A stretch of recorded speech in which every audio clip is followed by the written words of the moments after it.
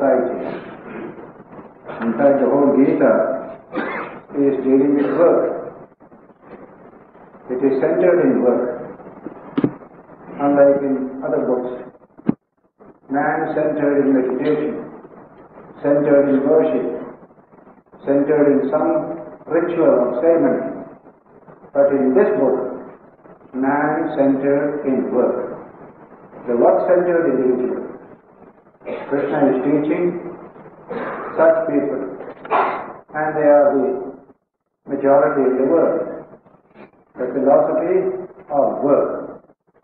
And so he has said in this verse 47 कर्मण्येवाधिकारस्ते मा फलेषु कदाचन मा कर्मफलहेतुर्भूः मा ते सङ्गोऽस्त्वकर्मणि To work you have the right. That is the first proposition. Second, none for the fruit thereof. You have no exclusive rights for the fruits of your work. Then the third proposition, Ma karmapala hetu bhu. Let not the fruit of action be the motivation for your work. And the fourth proposition, Ma de samgostu akarmani. Don't be attached to inaction also. If action doesn't produce results for me, why should I work? Let me keep quiet. Don't do so. These are the four propositions. So last Sunday, I was expounding this very difficult verse. You can always question, every student will question, if I don't get the fruits of my work, what's was the work? We always ask that question. It is good to ask that question and try to find the answers. So last Sunday, I referred to the status of the ego in evolution, quoting from The Science of Life by H.G. Wells, G.P. Wells, and Julian Huxley, written about 60 years ago, a bulky book. Towards the end of the book, dealing with modern biology, there is a section dealing with the philosophical implications of modern biology. I quoted from that section dealing with the unreality of the ego. Remember that word. This ego in man, what I call the self, may be one of nature's devices. I am quoting, at least in this case, the exact sentence. Sometimes books read 50, 60 years ago, you will not be able to quote exactly.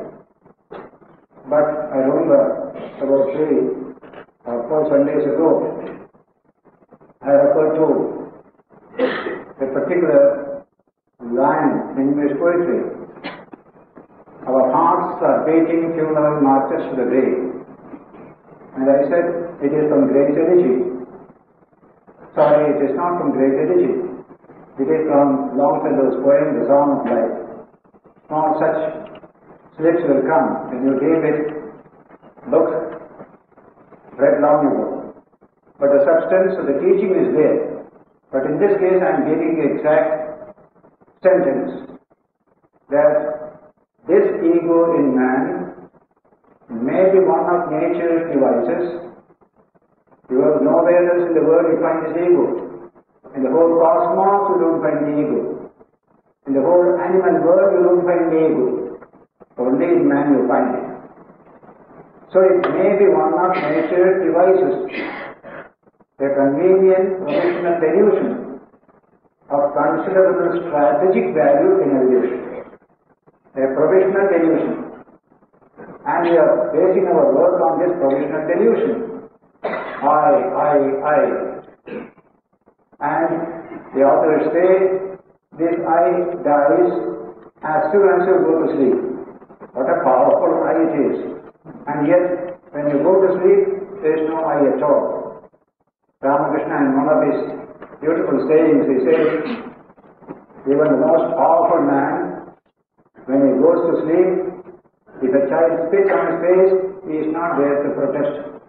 He is absolutely not there. That ego is gone. And then the author will say, this is similar to what we speak of, of detachment, objectivity.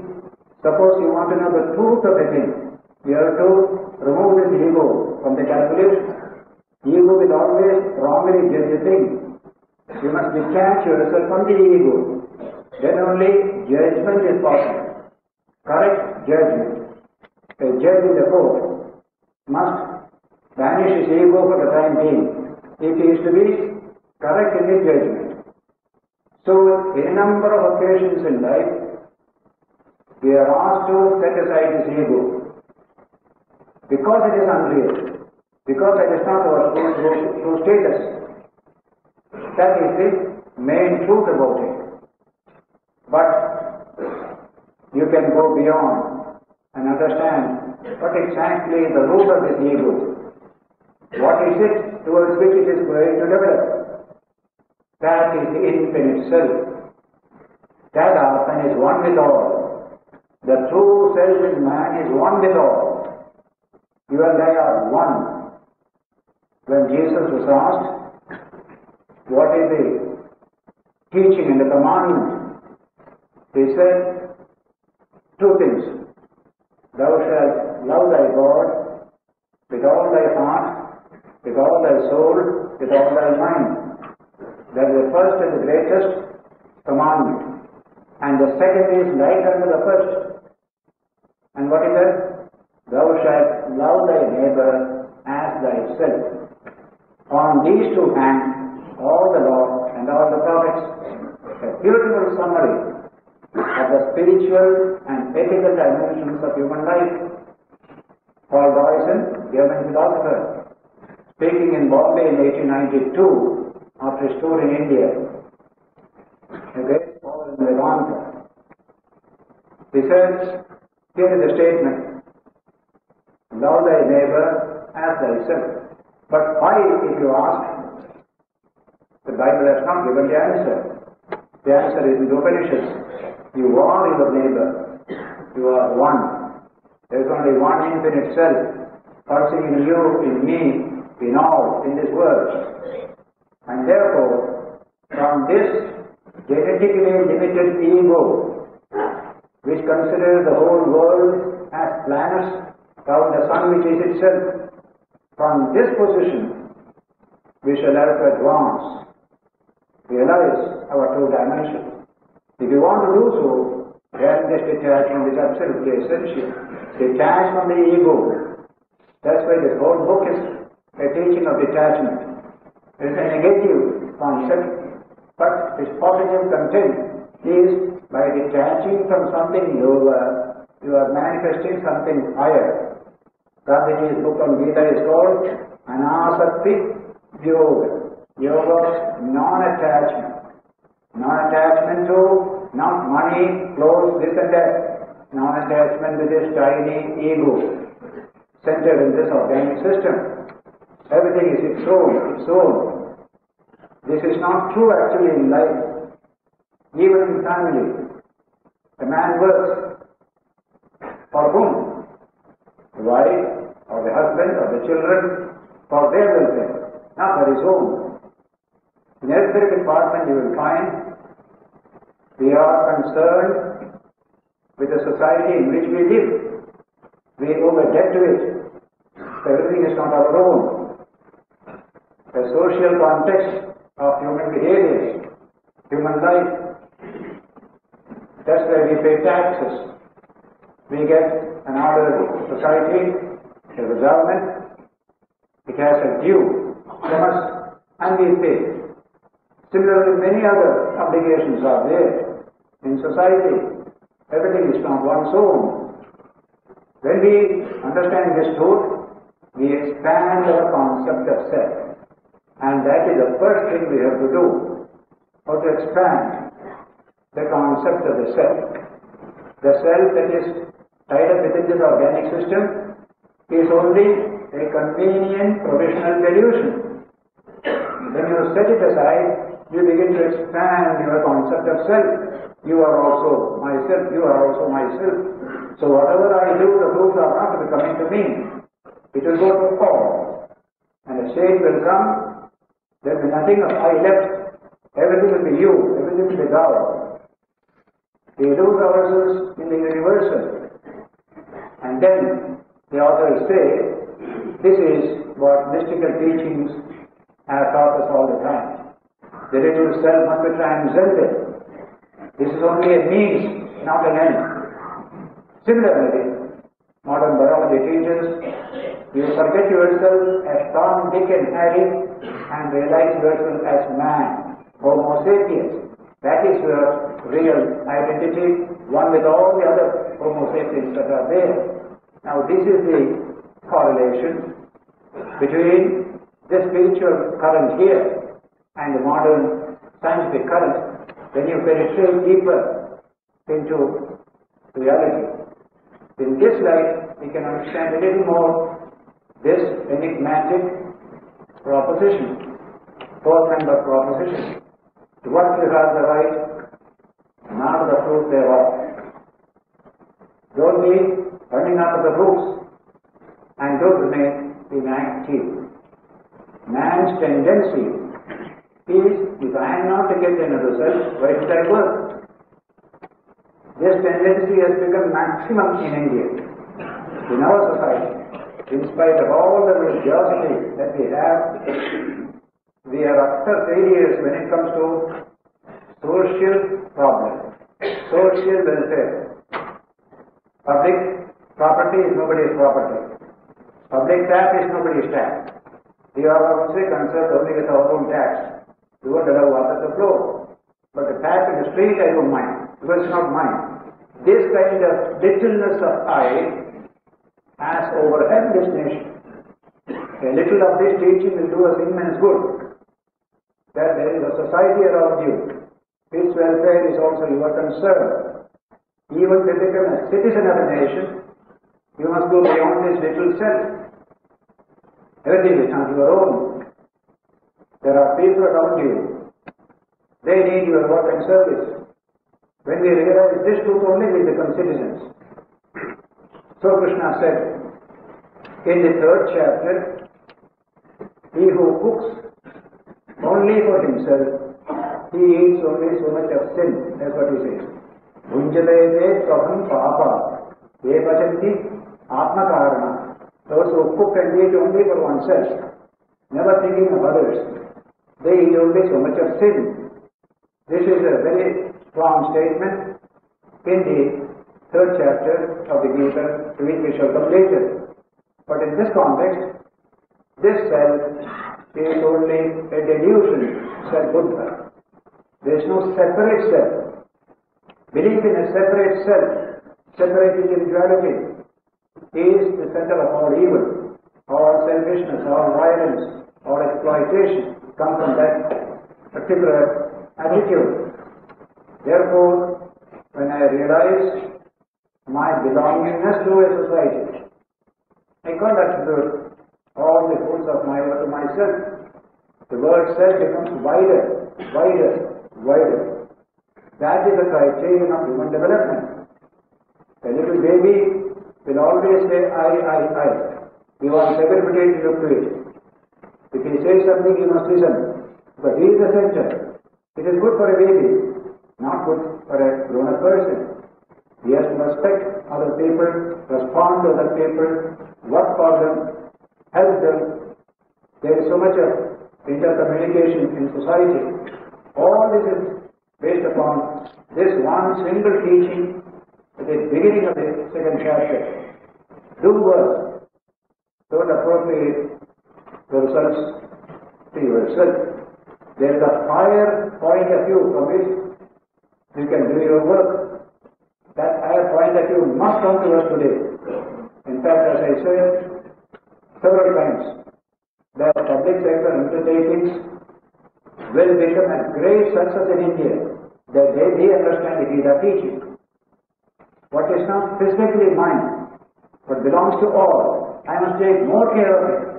That one lesson can transform our social situation, but it is just the opposite. Because it doesn't belong to me, it doesn't concern me, I am not interested in it. So public sector will be a failure so long as this character is not there. But when we learn this lesson, you will see tremendous development. No private sector can com- compare with public sector. Today the whole thing is opposite. In any country you go, government schools are the most efficient. In India it is just the opposite. Private schools are always efficient, government schools are always bad. Right?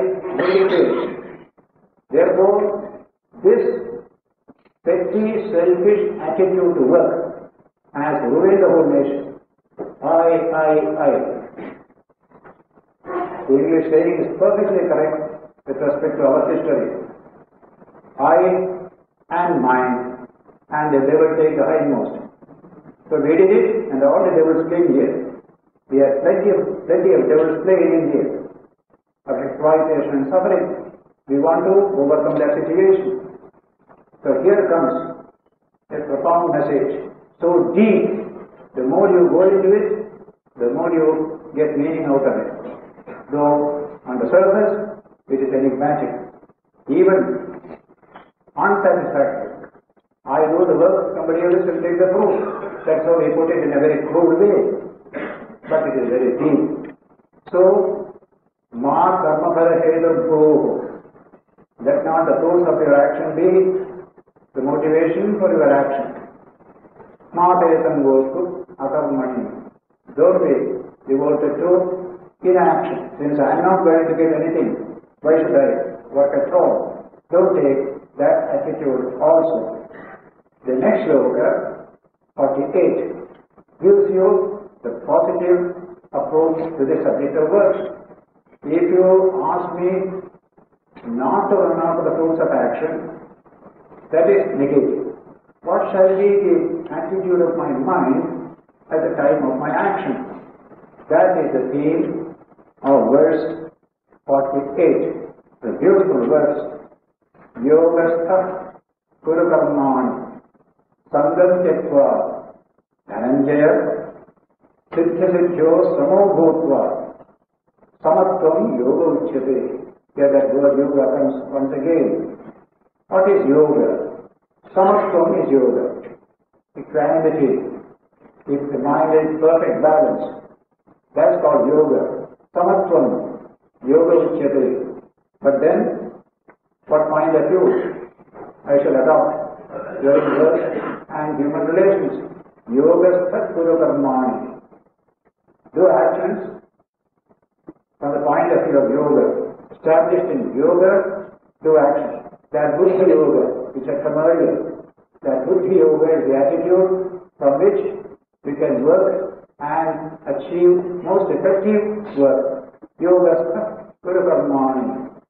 Sangam Tekva, giving up attachment.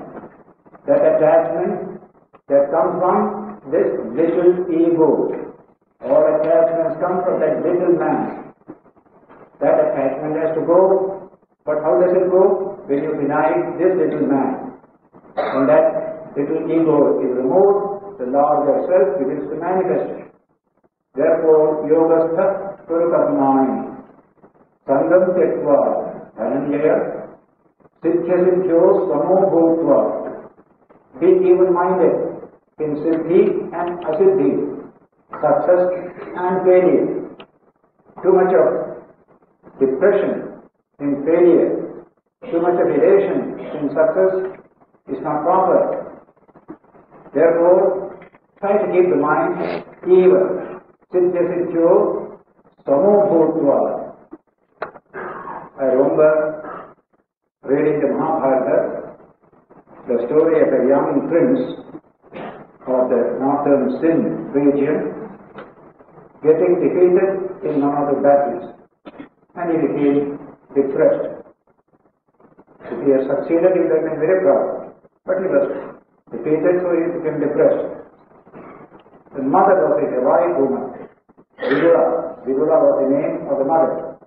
Vidula. Son's name was Sanjaya. Not the heather, but another Sanjaya, was the king of northern Sindh. That mother, the heroic mother, told his son, don't remain depressed like this. Demanding, disformed. Failures come, success come. You should not deal with all of them. They are like waves in the sea. Constantly they will be there. You must be above them. And then we have heard a famous line. In a small number of words, so much meaning and power are compressed in that statement of Vidura. She said, looking at this boy, young prince, Dhumayidam Chiram. It is better you flame forth for one instant than smoke away for ages. What a language. Just a brief utterance. What a tremendous message for every human being. Muhurtam Jvalitam Shreyo, not a Dhumayidam Chiram. Go on smoking for ages. What one is there? Flame for one instant, then disappear. Doesn't matter. What a beautiful thing. The English poet Ben Jonson speaks of in small proportions do we but beauty see, in short measures life made perfect be. Shankaracharya of 32 years, what a wonderful life he was. Short but intense. And in fact even today we have of his life and work. So in this way, a very manly, heroic philosophy will contain all these elements. All those petty attitudes of I and mine, I don't care for others, we have had enough of it in India. That heroic attitude must come today. Muhurtam jvalitam sreyo, nata bhumayitam chiram. So it is said, yogastha kurukarmani. Do actions from a particular level of consciousness. It's a big subject, this subject of level of consciousness. In the West today is a very, very attractive theme. How to raise our consciousness levels. After all, what is man's action? From a particular consciousness level, that action comes. If there is another level, another action will come.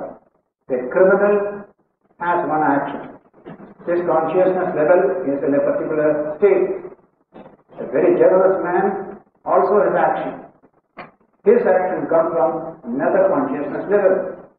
And so this subject of raising consciousness levels, both of Unnamana, is a very attractive subject in all Western countries today. It should be so for our own country. If an officer or a clerk in an office, a secretariat, is unconcerned with the people, his activity comes from a particular level of that little ego, that professional delusion called the ego. He has no concern for others at all. As soon as you find another person interested in the people who come, what can I do for you? I want to help you. His action comes from another consciousness level. So that consciousness level from which positive actions come, positive good to society will come. That's called yoga level, yoga buddhi level.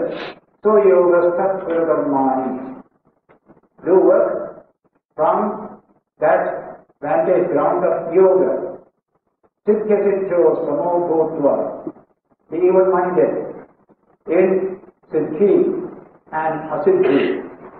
And then finally comes samatvam yoga uchyate. Yoga is equanimity, balance. That's the nature of yoga. Every experience throws the mind into a wave. Small wave, big wave. You have the power to control that wave formation. If you exercise that power, you are a free person. You are really using your higher cerebral system. If you don't, you become like a creature or circumstances. Somebody says you weep, and you weep. Somebody says, you smile, you smile. You have no interest, you have no freedom in yourself. That should not be. I shall smile when I want to. Not because somebody dictates to me. Nature dictates to me. That's called freedom. The whole of this teaching is based upon human freedom. From freedom we come, in freedom we live, on the freedom we return. That is the Vedantic teaching set Swami Vivekananda. And so here, the capacity to keep the mind in balance when so many circumstances come to unbalance it, that is the real test of human greatness, human strength. So many examples are there in this connection. From the highest level of a Buddha up to ordinary levels of greatness in our society, you find many types of this achievement. But every step that you take in the direction to show that you are free from external constraints is progress, human progress. That is to be emphasized again and again. Some time ago, I referred to modern neurology telling us about this thermostatic equilibrium within the body and similar other equilibria within the human system, like the constitution of the blood, etc. Everything is in balance. When it is upset by work, it automatically becomes in balance. That is the homeostatic condition of the human body.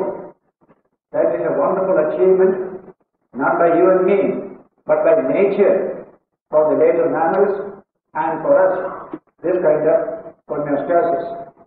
And there, the famous French physiologist had said, and I quoted it on the earlier Sundays, that a fixed interior milieu is a condition for the free life. If you want to truly achieve freedom, you must try to establish a fixed interior milieu. Now the milieu is being made up and down by external forces. So to that extent, you are progressing towards your life's perfection. So a fixed interior milieu we have to establish. This is a very difficult subject, and so Grey Walter in his book The Living Brain, Grey of England, there he discusses this subject in a very fascinating passage. He said, our teacher was Sir Joseph Barcroft in Cambridge. He used to lecture to us about the significance of homeostasis in evolution. And he had wonderful examples to give. And one such example he said, how many, I'm quoting from Grey Walter, the words of Sir Joseph Barcroft.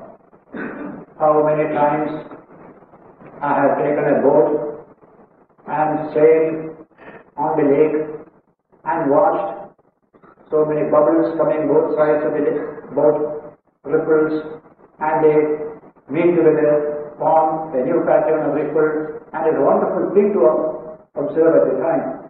The various patterns formed by the various actions of the boat on the water. Then he says, but one condition must be fulfilled to make those patterns. The water must be perfectly calm. The lake must be perfectly calm. To expect high patterns in the stormy Atlantic is impossible. Similarly, to expect high intellectual development in a mind which has not achieved a measure of stability is simply impossible.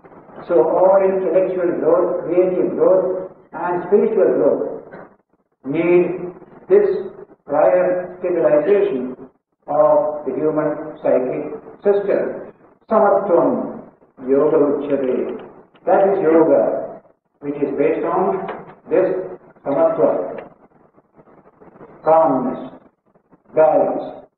Everything tries to unbalance me. There is a system in me it balances it automatically as the body does it.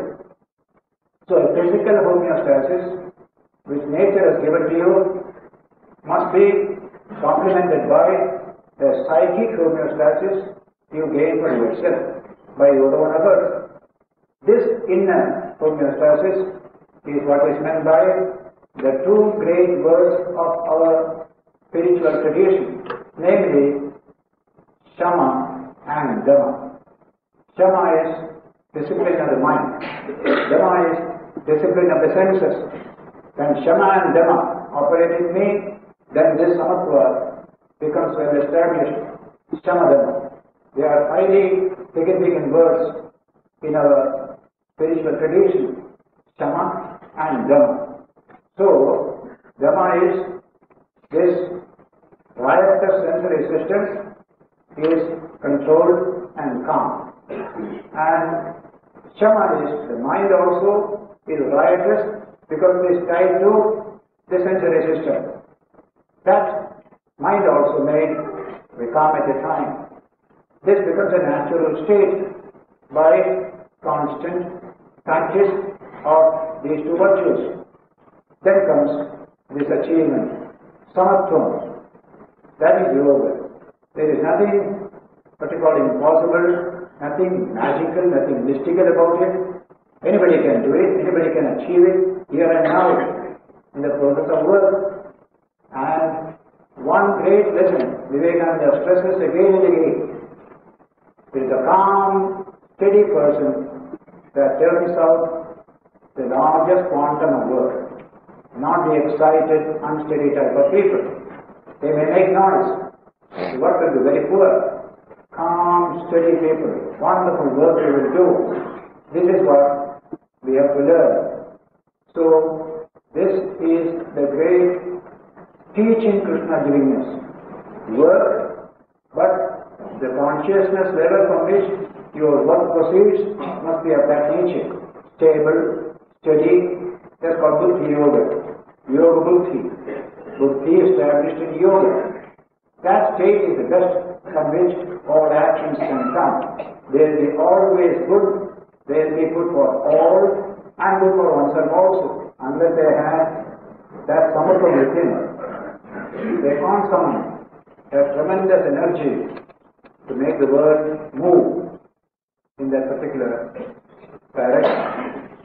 And so for all of us, as much as we can, even one step ahead is good for us for making our life efficient and yoga is going to be defined later on uh, in verse 48 as efficiency in life and work. So there is nothing magical. Our people must banish all idea of magic and miracle from this philosophy. This is down to earth. Take a man by the hand slowly lift him up and take him to the highest level. That's what this philosophy does. Everything is clear. Everything can be communicated. It can be practiced. It is difficult. All great things are difficult. Even climbing a small hill is difficult. But the more difficult, the more be the challenge to the great mind. I don't want easy life. That attitude must come. Then only you can have a nation of heroic minds. No easy life. I am prepared to pay the price and get it. No charity. That's a wonderful idea. In India, the, the Sikh gurus from Guru Nanak Guru Gobind Singh, they were the people who taught this wonderful idea of self-reliance. Don't seek for easy life. Work hard. Don't beg. Work and earn. Nowhere in India you will find the command of that great teaching in the life of the people as you find in Punjab from these gurus. Even the most difficult times of partition, refugees are coming absolutely empty pockets. Nobody will beg. Only asking for work. There you can see the tremendous energy coming out of this little discipline which the Gurus gave. So the whole nation stands to gain by applying even a little of this Gita teaching. And this Gita is inspiring thousands of people in our parts of the world. Only today I was reading our famous Rios, Rios Capra, Professor Capra of Berkeley University, author of that famous book, of Physics, telling an interviewer, I first got interest in Eastern thought by studying the Bhagavad Gita. That put me on in this direction. So many are reading all over the world. So that after some decades, the effect of all this study and teaching and practice will be found in a better humanity, more pure, more compassionate, more intelligent, more efficient. The yoga of the Gita sponsors all these virtues and graces in people in our parts of the world. And so, in this verse of number 48, Kuru Karmani, Sangam Tyaktva, Dhananjaya, Siddhya Siddhau, Samo Bhutva, Samatvam Yoga Uchyate. It's a beautiful idea. Even at the age of four and five, a child must be taught a little samatva. Children are generally excitable. There is no harm at their age. But they must be slowly initiated into this. Now try to calm your mind. Don't be excited all the time. That kind of thing, slowly, slowly. That means he is handling his own mind, not the world outside. That is meaning of Shana and. The world outside, somebody says you are a fool and I become wretched, I become depressed. That man is dead and gone. But I am living a depressed life because somebody said me. That's what an American said. To put your peace of mind in somebody's pocket is the most unfortunate thing you can do. and so learn to put it in your own pocket. I shall determine how I react to any situation. That can come only when the mind has that balance. The balanced position, you can have any reaction you like to a human situation. So when Sir Jo- Joseph Barcroft said, if the sea is calm, if the lake is calm, the lake of the mind, then it will form wonderful ripple patterns in the inner life of man. High intellectual and spiritual development cannot be found in a milieu which has not been calmed and made even. So that is why if you want to become great as a person, you have to achieve all these things. You have to handle your mind. The first thing we have to do is to handle your mind. We don't rarely, we rarely do handle our mind. We handle tools. But the biggest tool is the mind itself. We never handle it. We let it go in its own way. So the Gita is going to give us that other teaching. Handle the tools, handle the mind also. The tool of all tools is the mind. Then something great will happen to you. So this is the first definition of yoga, start from yoga uchyate and two slokas later, you will find again just 50, verse 50, another definition which is much more pervasive in meaning and significance. Verse 49 says, दूरेण ह्यवरं कर्म बुद्धियोगात् धनञ्जय बुद्धौ शरणमन्विच्छ कृपणात् फलहेतवः These few verses, the heart of the second chapter, are masterly, conveying a profound philosophy for all humanity. In fact, this particular verse, 49, which I read just now, Durena Kyavaram Karma, Buddhi Yoga Dhananjaya, Arjuna, work done with a selfish motive is far inferior to work done from that Buddhi Yoga point of view. Buddha Sharanamanivicha. Take refuge in Buddhi. Develop Buddhi in yourself. Kripana Kalahedava. Those who run after fruits, they are very small-minded, kripana, conjures as we say in Hindi. They are small-minded. Now this verse was quoted in a public lecture by the Secretary General of the United Nations, a few years ago. In quoting this verse, he said, the world can follow in their life this teaching, the world will be a better place to live in. That is this verse. Dharma, Buddhi Yoga Dhananjaya, Kripana Phalahetava.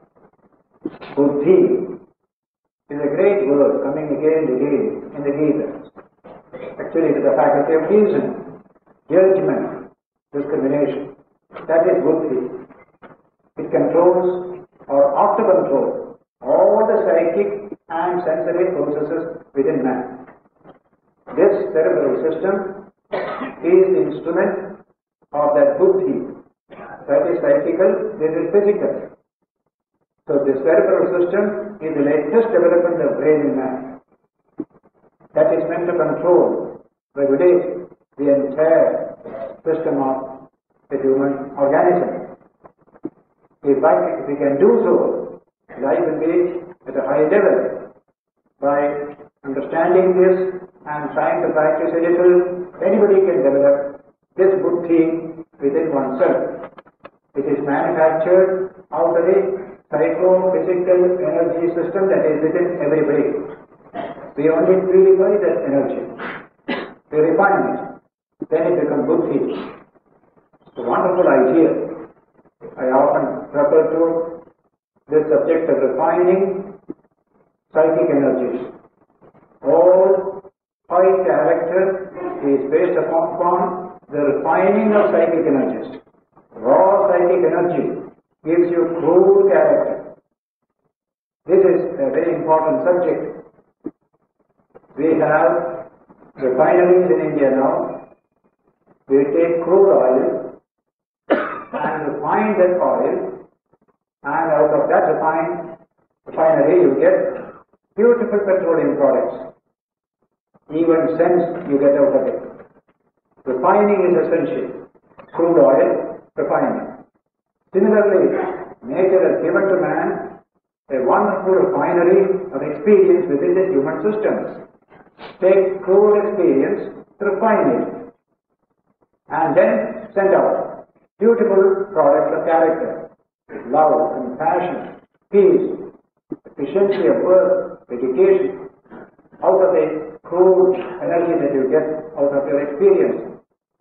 This is a subject which every young student must think about and work out in life. How to refine my experience. Today there is so little refining of experience. The crudity that has come to our life is appalling. Crudity in ordinary human relations, crudity in politics, crudity everywhere. Crude.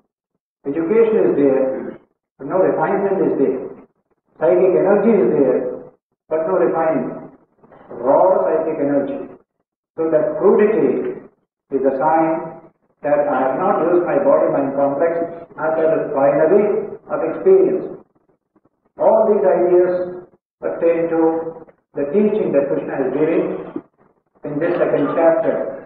Durena Yavaram Dharma, Yoga Dhananjaya, Buddha Sharanamanicha, Kripana Phalaketava. Where there is no buddhi, you come from a lower level and work. Then you become a Phalaketava, motivated by fruits. This I must get, this I must get, this I must get. That attitude, the bad I all the time. There is no place for you at all in my thinking. That's what Phalaketava. Compared to that, the level of buddhi, you can see through welfare of others, what can I do for them? That attitude is always there. That's called buddhi yoga. That alone you can have high character energy. From buddhi level, you get high character energy. That buddhi, in our psychological tabulation is nearest to the Atman, the infinite that is behind you. Next to the infinite Atman is the Buddhi. Buddhi has only to turn back, the Atman is there, the infinite one. Then do all the work here. It's beautiful. That's why when we study the Katha Upanishad, Upanishad gave us a chariot imagery. Human life is a journey to fulfillment. There are two types of journey. External journey, internal journey. External journey is for eating, drinking, education, job, family, children, name, pay. All that's for external journey. In the context of that journey, there is also an inward journey. That inward journey is what makes for character, makes for high spiritual character, religious and spiritual attainments. There you have this beautiful chariot imagery given by the Upanishad in the third chapter of the Kathopanishad. In that chariot imagery, the driver of the chariot is called Buddhi. He directs the whole movement of the horses of the chariot. Chariot has no energy, all energy is the horses. And the horses need control by the reins. And the reins must be held by somebody. That somebody is Buddhi. And the reins stand for the manas. This psychic system, below which are the horses, the sensory system, below which is the chariot, namely the body. So Buddhi is the controller, director of the whole journey. He at the face of the journey. He can see far ahead, what they call in English far sight and foresight. Study your own personality. This sensory, this sensory system has no far sight and foresight. It only knows the immediate, the nearest and the immediate. Psychic system has got a little far sight, better than this sensory system. But when you come to Buddhi, you get high foresight and far sight. Durashti, you can see far ahead through. That's called wisdom finally. Not mere intellect. Intellect is not Buddhi. Intellect is purely analytical mind, that's all. But Buddhi combines high pure reason, strong will, and all the purified emotions. You combine together, you get a tremendous instrument for human life and achieving human destiny. That is Buddhi as defined in the Upanishads, standing for the driver of the chariot. He is to make the pace of the journey. Of course, this side, that side, whatever it be. So, Buddha Sharma and he is telling here, don't allow your journey to be conditioned by the chariot, or by the horses, or by the reins, only by the driver of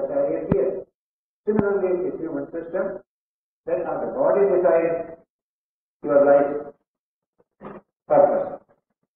That's not the sensory system deciding, not even the psyche, but the pure reason, enlightened reason in you, that can decide that is Buddhi. So he said, Buddha Sharanam and Vichya. Take refuge in Buddhi. Kripana Halakayara. Those who to the point that of the ego, taking foods all for oneself, such people are extremely petty people, small people. Sanskrit word is Kripana. Kripana actually means a very stingy person. The mind is stingy. That's the meaning of Kripana. Here it means you are petty, small. Nothing big will come out of you. So that is the great slogan in 49. Beautiful idea of work and life. All dealing with every human being. Man, women, children, all. No distinction of race, of caste, of nation, or sect or creed. Just a human being, young and old. How shall he live and work?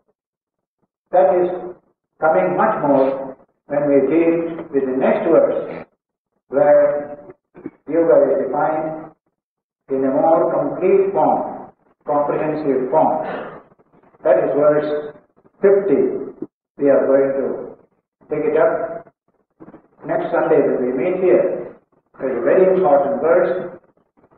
The heart of the yoga teaching, the finest and shortest definition of yoga. We shall deal next Sunday when we meet here. Thank you. We shall spend a minute in silence and then disperse.